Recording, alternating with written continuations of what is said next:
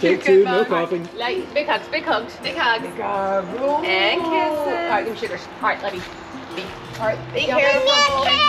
Bye, bye, bye, bye, bye. Mm. All right, love you, boo. Bye. Y'all be careful. Bye, yeah. Bye, bye, Ashton. All right, we'll take them. All right, we will see y'all in five months. We'll be here.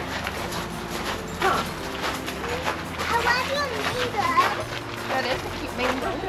Y'all can come back anytime while we're gone, Ashton, and look for the cats. Bye. Got it. Bye. Bye. Love Love Hey, we're inside the truck. We're literally ready to leave right now. Yeah, waiting on the last little load of laundry to dry, and then we'll um, pack up what little bits left and head out. Yeah, look at the back of the truck. Completely packed. Packed. I mean, the back of the truck, of course, is really packed, but even the back seat is packed. There's lots of stuff. Yeah, hey, but it's good. Okay, the trip to Dumas, Arkansas, which is just our overnight spot, we just kind of picked it arbitrarily, and then we found out that a good friend used to live in the area. Yeah.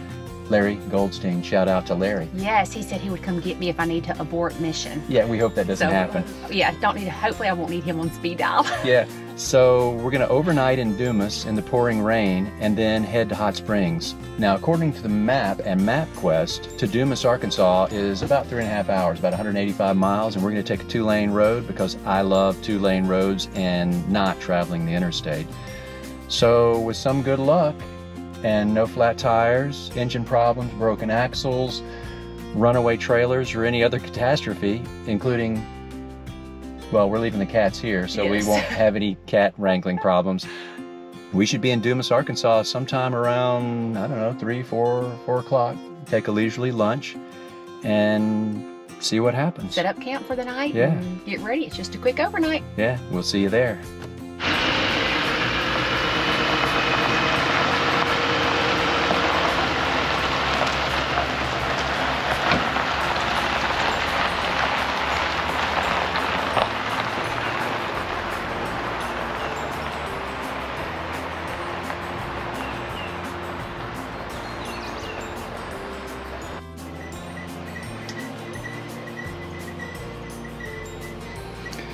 Well, we made it.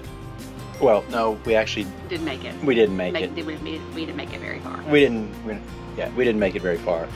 we got to the top of the driveway and realized, whoopsie, trailer brakes aren't working. So we drove very slowly into Jackson, into a Chevrolet dealer.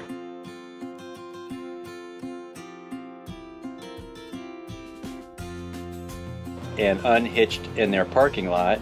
And now we're sitting in our own private waiting room Waiting to see if they're able to fix it. Right. Yes. This is Shannon's introduction Yes. to RV travel. Always the unexpected, but no big deal. A lesson in flexibility, Absolutely. Yeah. So hopefully they just pulled the truck into the service bay and hopefully they'll be able to figure out a way to fix the trailer brakes because uh, it it would be very difficult to pull this trailer certainly not on the highway and probably not on a two-lane road without the trailer brakes super hard to stop if they can't fix it here we've got an appointment in little rock that we can limp on there day after tomorrow and just leave it but we've got till about two o'clock today, today. two or three o'clock uh, to get to Dumas. Uh, hopefully this is just a, a speed bump and not a roadblock. we'll see. we'll see.